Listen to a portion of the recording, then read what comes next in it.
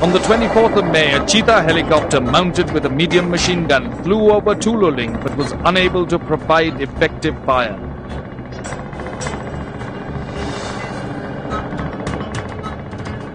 I was flying late Major Adhikari for Ranjit operation on Tololing.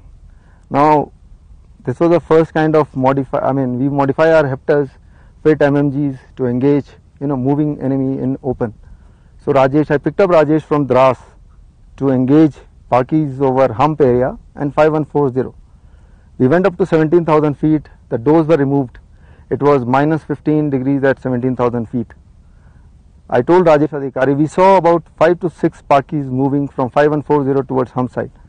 So in that Josh, I told Adhikari, shoot them, just kill them. He fired a burst of about 10 to 15 rounds and the MMG stopped.